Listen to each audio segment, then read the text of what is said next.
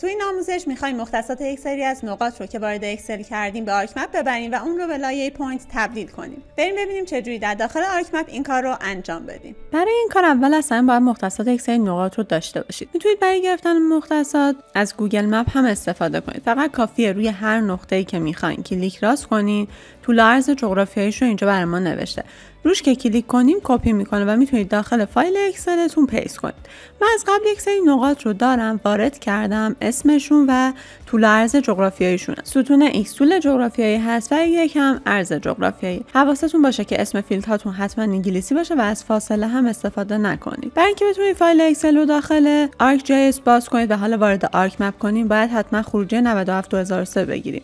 برای همین میریم به قسمت فایل. از قسمت save پوشه مد نظر رو انتخاب می‌کنم.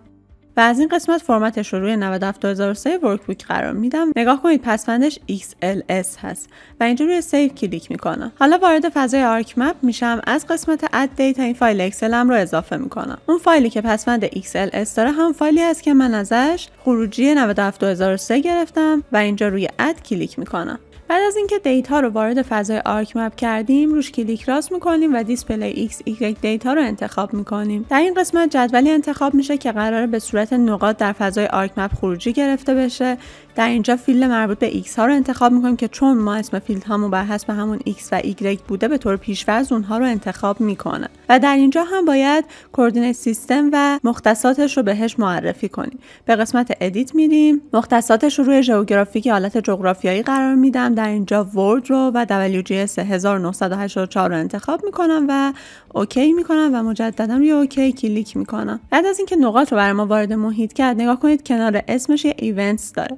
ما باید روی این کلیک راست کنیم و یک export ازش بگیریم. برای export گرفتن هم روی لایه کلیک راست می‌کنم به قسمت data میرم و اینجا export data رو انتخاب می‌کنم. محل ذخیرش رو از این قسمت بهش معرفی می‌کنم و در اینجا یک اسم براش در نظر می‌گیرم و در اینجا نوعش رو روی shapefile قرار میدم و روی save کلیک می‌کنم و OK برای اینکه در این محیط هم لایه‌ام رو اضافه کنم و بهم نمایش بده اینجا روی yes کلیک می‌کنم. حالا نگاه کنید من این لایه رو خاموش می‌کنم. دیگه الان اومد از اون نقاط ما یک شیف فایل برای ما ایجاد کرد. این نقاط مربوط به منطقه 3 بود. من میرم لایه مربوط به منطقه 3 رو هم اضافه می‌کنم برای اینکه ببینید دقیقا نقاط روی منطقه و در جاهایی که مد نظر ما بود افتاده. نگاه کنید من لایه بلوک های منطقه 3 رو هم اضافه کردم. دقیقا نقاط در جایی که مد نظر ما بود قرار گرفتن.